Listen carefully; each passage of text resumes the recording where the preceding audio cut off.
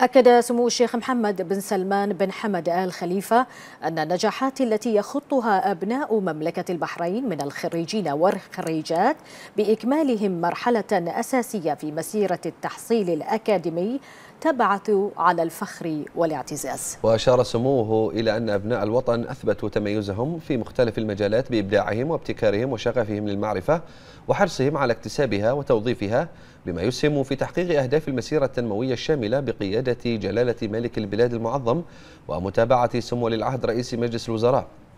جاء ذلك لدى حضور سموه حفل تخريج الفوج الثامن من مدرسة الرفاع فيوز الدولية والذي أقيم يوم أمس في مسرح البحرين الوطني وضم 35 طالبا وطالبة.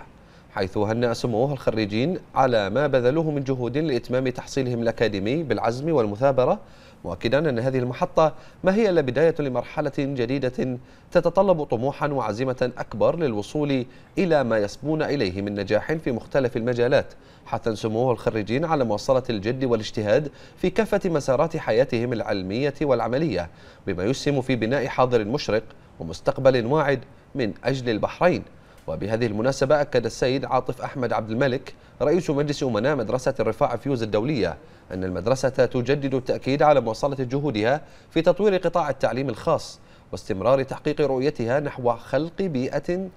بيئة تعلم ذكية وحديثة وفق أعلى مقاييس التعليم الدولية. من جهته أشار الشيخ عبد العزيز بن مبارك الخليفة عضو مجلس أمناء مدرسة الرفاع فيوز الدولية إلى أن المدرسة حاضنة للتعلم الذكي وتمتلك مناهج دراسية تعتمد على علوم البرمجيات والذكاء الاصطناعي معربا عن اعتزازه بكفاءة وقدرة خريجي المدرسة على التكيف مع تطورات العصر.